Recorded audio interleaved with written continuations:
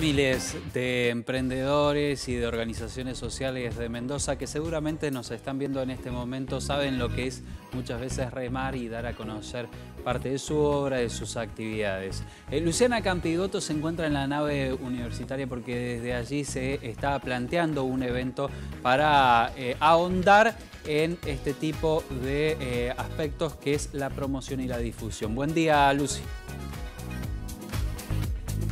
días nuevamente. Claro que sí. Y Mendoza, me dicen los organizadores de este evento, que es la Universidad Nacional de Cuyo, en parte, eh, es una de las regiones o una de las provincias que más ha crecido en nuestro país en cuanto a empresas que son de impacto, es decir, aquellas empresas que plantean en su objetivo, que son emprendedores, que son tal vez pymes, pero que en su objetivo desde el inicio tienen la idea de generar algo bueno para la sociedad y además sustentables, ¿no? Y por eso Facebook es una de las herramientas y una de las eh, redes sociales que puede servir para que emprendedores puedan difundir y por qué no cuántas otras cosas que seguramente van a aprender y van a poder eh, empezar a, utilizar después de esta capacitación que se está realizando aquí. Y estamos ahora con Guillermo Cruz, quien es el secretario de Extensión y Vinculación de la Universidad Nacional de Cuyo, que han organizado este evento, eh, bueno, esta charla. ¿Por qué? ¿Cuál es el objetivo? ¿Cómo le va? Buen, bueno, buen día.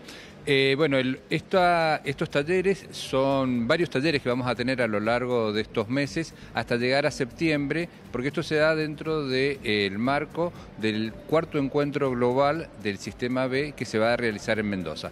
Este encuentro internacional del Sistema B lo que apunta es a desarrollar mucho más todo lo que son las empresas de impacto. Y en esto es cómo vamos preparando a la sociedad de Mendoza, cómo vamos preparando a, los empresarios, a, los emprendedores, para que podamos hacer una sensibilización y difundir y prepararlos y hacer concientización sobre lo que es la importancia de la nueva economía, esta, economía de impacto que apunta, como dijiste recién, a que tenga un beneficio económico, que tenga un impacto social positivo y que sea eh, sustentable desde el punto de vista ambiental.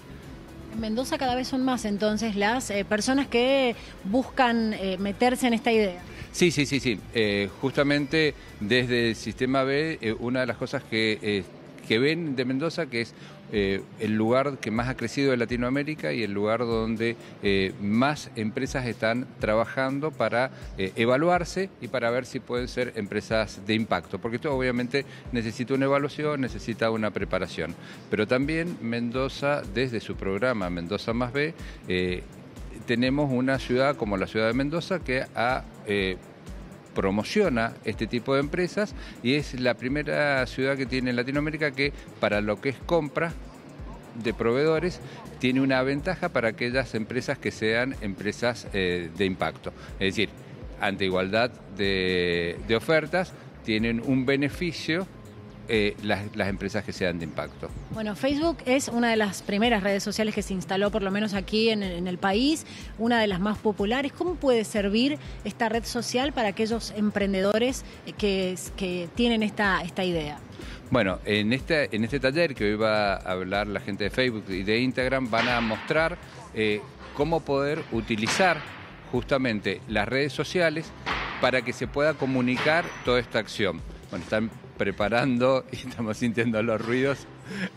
Eh, ¿Y cómo pueden preparar, eh, cómo pueden comunicar todo esto? Obviamente que eh, lo que vamos a buscar y lo que estamos tratando de hacer es que en las redes sociales, obviamente esta comunicación sea una comunicación que apunte a la ética y que apunte al muy buen desarrollo del negocio.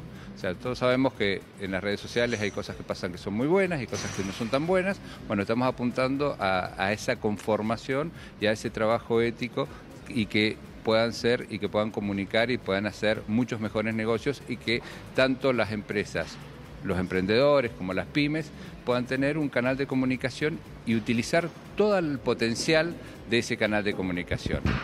Esto va a ser ahora en la mañana, para eh, emprendedores y para pymes. Y en la tarde va a ser lo mismo con otro tipo de herramientas o otra mirada para todo lo que son organizaciones sociales, para lo que son cooperativas y para lo que son emprendedores sociales.